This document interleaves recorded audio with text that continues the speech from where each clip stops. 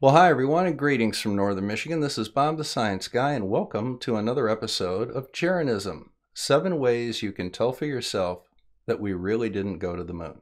Now, in episode one, we talked about moon rocks and how they are geologically different than any rocks found on Earth. We've looked at the catalog of all of the, all of the samples returned from the lunar surface by both manned and unmanned missions.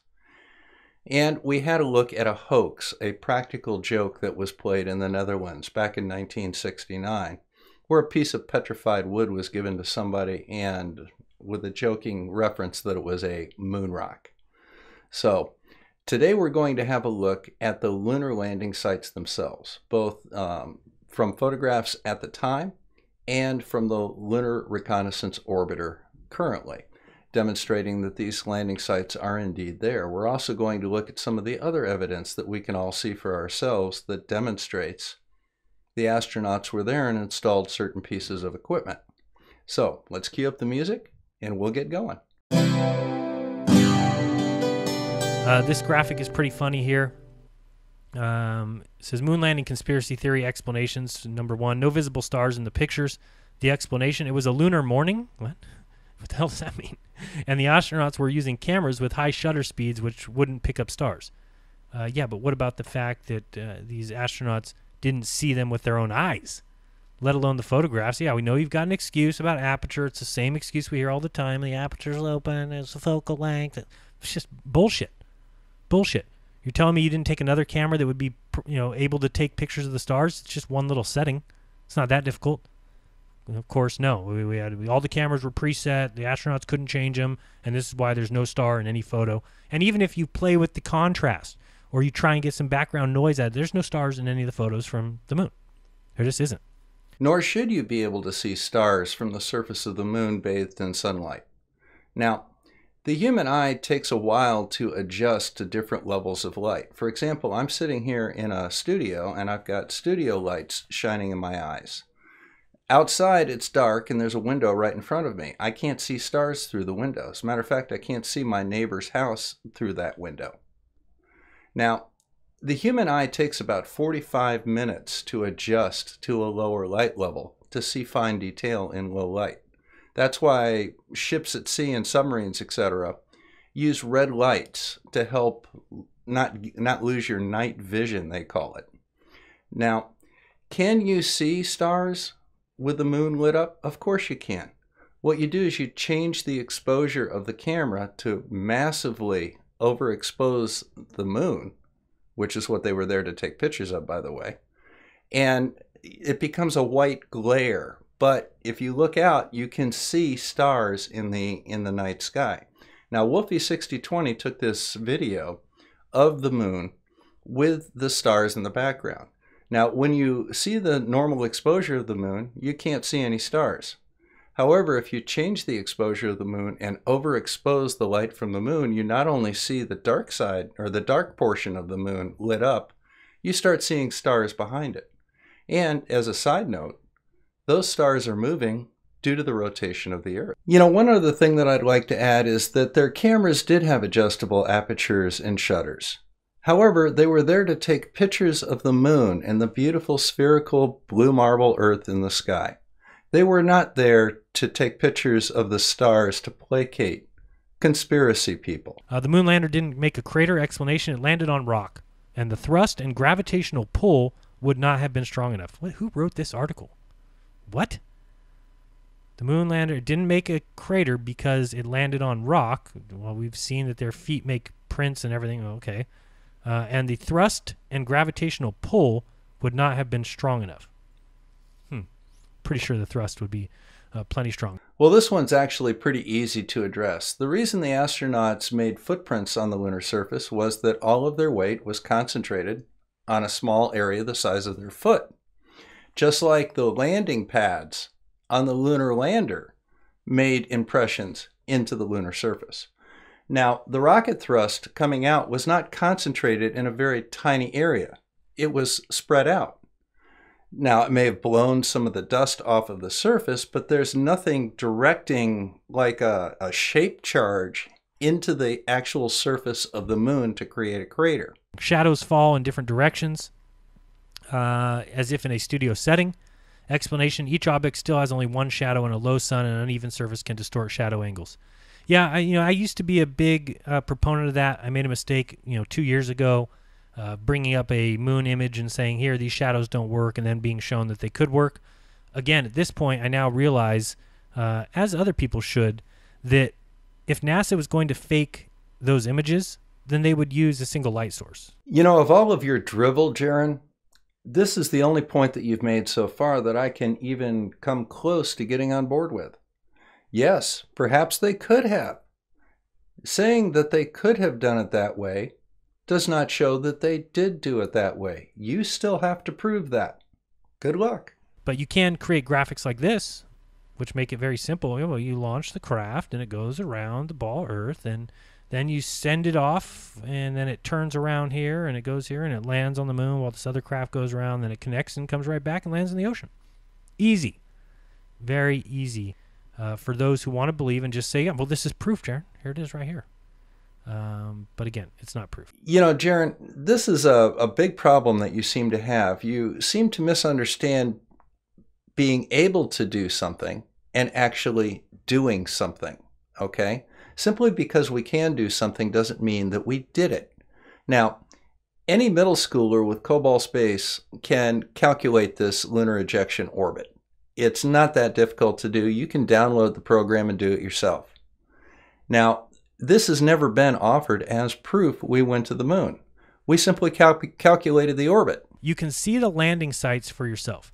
Which, real quick, let's just remember we have a piece of the moon here to study, and this is how you can tell for yourself that the moon landing really happened because some guys say that there's moon rocks that none of us have ever seen. Uh, put it this way nobody listening to this show right now, and nobody who will listen to it in the coming days, has ever seen a moon rock, has ever studied one, has ever looked into it at all. Never seen one. Okay? Uh, anyway, you can see the landing sites for yourself. What? How? Wh- where can you see that? Well, Jeran, Funny you should ask that, because here are images of all six Apollo landing sites, and these are freely downloadable from the web. It just took me 30 seconds to find them. Uh, you can review these uh, images yourself. You can compare it to images from the missions and match up landmarks, for example. Uh, there it is. What more do you want? Even today, you can still spot the landing sites for the Apollo missions on the surface of the moon. Images collected by NASA's Lunar Reconnaissance Orbiter and published in 2011 sharply illustrate. Notice the word sharply. Okay, we're going to look at these images right now. The touchdown points of the Apollo 12, 14, and 17 lunar landers as astronauts made their way to the ground, as well as paths taken by those crews as they walked and rode around the surface of the moon. A year later, NASA went on to publish other LRO images of the Apollo 11 site. You know, the other day I was on a Discord server, one of these flat Earth discussion groups. And somebody there named Chad asked me whether or not I could tell the shape of an object from a photograph. Well, the answer is yes. Chad immediately hung up on me, assuming that I was somehow unreasonable, is the only thing that I can assume. But looking at a photograph and the interplay of shadows on objects on the ground, photo reconnaissance can tell an awful lot about the shape of objects. All it takes is a, is a trained eye and an understanding of what might be there. Does photo reconnaissance provide evidence? Of course it does. We almost went to war over this photograph right here. This is the lead up to the Cuban Missile Crisis. This is a medium range ballistic missile site in Cuba in late September 1962. Now, we followed this up with low level flights to get better confirmation, but this told us what we needed to know. Now, I'm going to go ahead and turn this over now to a new creator that is a very small channel, about 135 subscribers. I strongly recommend you have a look at his channel because if this video is any indication as to how he approaches this, it's a very orderly and systematic way of debunking this moon landing hoax nonsense. So I'm going to turn this over to Meson Particle, and he's going to talk about the original photographs and the Lunar Reconnaissance Orbiter photographs of the Apollo 17 landing site. And as a side note, I actually watched Apollo 17 launch. So, this is Meson Particle. Stop by his channel, the link's in the description. Rather than using the raw TV footage, I'm going to use the higher quality 16mm film footage that the documentary itself used. This camera was mounted to the pilot's window in the lunar module. This footage is also available on YouTube on the Apollo Flight Journals channel. I'm going to find a still frame which gives me the best combination of size and clarity of the tracks. Taking this screenshot into Photoshop, I'm going to make some minor adjustments to the sharpness and the contrast to bring out some of the track detail. Next, it's time to download a high resolution LROC image of the Apollo 17 landing site. For any moon landing deniers still losing their grip on reality, notice how these images are hosted by a university and not by NASA. I'm going to download this enormous raw TIFF file which is nearly half a gigabyte in size. Taking this file into Photoshop, we can explore the staggering detail on this 534 megapixel image. Zooming in on this particular region of the image, we have a fantastic view of this extensive boulder field, which definitely wouldn't have made a good landing site. Zooming into another region of the image, we can clearly see the evidence of the Apollo 17 mission back in 1972. I'm cropping out the region we're interested in and enhancing its contrast.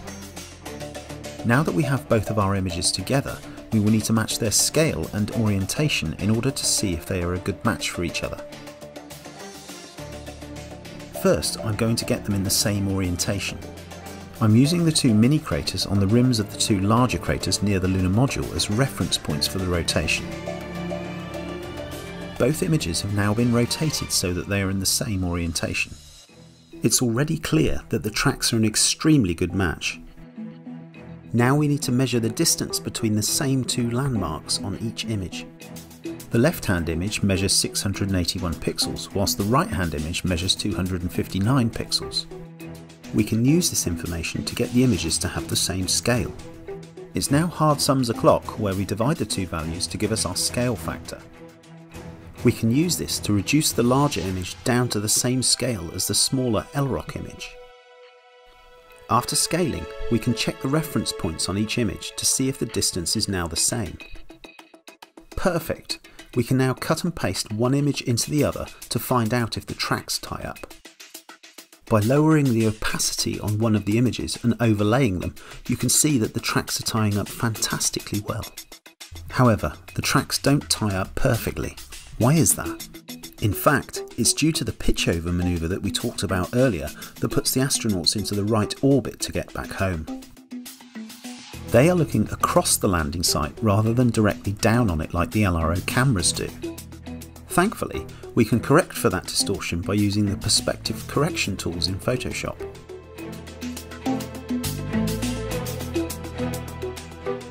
I'm going to make these minor adjustments to the perspective of the screen capture from the 16mm film footage. In doing so, I'm going to use the reference points of other craters and surface features to match the perspective as best I can.